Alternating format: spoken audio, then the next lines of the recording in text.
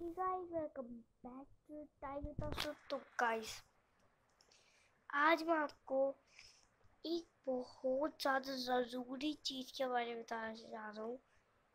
उसका नाम है नेवर गिव अप अब आप में से बहुत से लोग सोचते होंगे नेवर गिव अप क्या है? वो तो समझ में आ रहा है क्योंकि इसका नाम ही ऐसा कि आपको कभी गिव अप नहीं करना चाहिए। मतलब कभी भी गिव अप आप लोग को नहीं करना चाहिए तो कुछ लोगों को तो समझ में आ गया लेकिन जिनको नहीं आया, उन्हें मैं बता देता हूँ। तो गाइस अगर आप कार्टविल की प्रैक्टिस कर थे आपसे होने लग गया, पर आपके पैसे देने और आपने एक बार ऑलमोस्ट ऑलमोस्ट आपके पैसे सीधे थे और आपको चोट लग गई तो आपने छोड़ दिया उसे। नेवर गिव अप एक बच्चा था अब ना बारी आई उससे कार्टविल करने की। कार्टविल करता था, लेकिन उसके पैर स्ट्रेट होते थे। उसके एक दिन ऑलमोस्ट स्ट्रेट उसके बाद उसने चोट लगी तो उसे छोड़ दिया।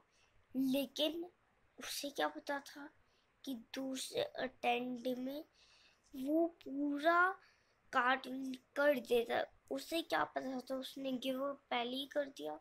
गाइस ये चीज़ एक मेरे बारे में भी है। मैं एक दिन साइकिलिंग कर रहा था। अब क्या हो ना, मेरी स्पीड ओवर स्पीड हो गई और मेरा बैलेंस भी कर गया पूरा। अब मेरा हैंडल अपना आप मुड़ने लग गया। इधर उधर अब मैंने भी हाथ छोड़ दिया क्योंकि मेरे को बहुत डर लगा था मैं तो सर नीचे गिरने की लैंडिंग मतलब पैर वैर रखने वाला था कि नली में गिर गया। और ये सबसे गंदी बात है कि मैं पीठ के बल गिरा साइकिल मेरे ऊपर थी, साइकिल मेरे नीचे नीचे, साइकिल मेरे ऊपर थी। और मैं नली के अंदर था। मेरे को ऐसी चोट लगी थी मतलब तो तेज लगी चोट, लेकिन मैंने साइकिलिंग करना छोड़ा नहीं। ओ गाइस इसका इंसान इतना बुरा है, इतना बुरा है कि आप सोचा नहीं होगा आप लोगों ने। मैंने उस टाइम हार नहीं मानी, मैं साइकिलिंग और किया। और गाइस आज के वक्त में मैं एक हाथ साइकिल भी चलाता हूँ और दो, एक हाथ को छोड़ के साइकिल चलाता हूँ, और दोनों हाथ को मैं छोड़ देता हूँ, लेकिन साइकिल में ही चलती रहती है। मैं दोनों हाथ को छोड़ देता हूँ, लेकिन मेरी साइकिल चलती रहती है, और अगर मोर भी आ जाता है, मैं मोर पे भी अपनी साइकिल को मोड़ लेता हूँ। बिना हैंडल को टच करे मेरे दोनों हाथ पीछे होते मतलब पॉकेट में होता है। देखा? मैंने नहीं गिव अप किया। कितना बड़ा चीज़ हो गया। अभी भी मैं गिव अप नहीं कर रहा हूँ। मेरे को दोनों हाथ छोड़ने में भी प्रैक्टिस लगी चोट वोट लगी थी, लेकिन मैं सीख गया। अब मैं व्हीलिंग भी सीखूँगा। व्हीलिंग बस मैं आगे का टायर एक सेकंड के लिए ही उठा सकता हूँ। मेरे को भी ना दो सेकंड तक सीखनी है। मैं वो भी सीखूँगा।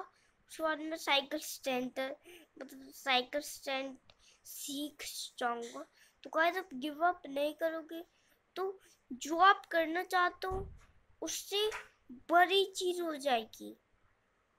तो आपको हमेशा जब कभी भी गिव अप नहीं करना चाहिए, चाहे आपको कितनी भी चोट लगे, चाहे आपको स्टिचेस जैसे कि मेरे अभी यहाँ स्टिचर लगे, यहाँ पे भी लग गए, लेकिन मैंने गिव अप नहीं किया। करते ही गया, मैं करते गया, और अब देखिए, इतना सब कुछ हो गया तो गाइस इसलिए आपको कभी भी गिव अप नहीं करना चाहिए। तो आई थिंक इतनी लाइक शेयर करना मत मत भूलना। तब के बाय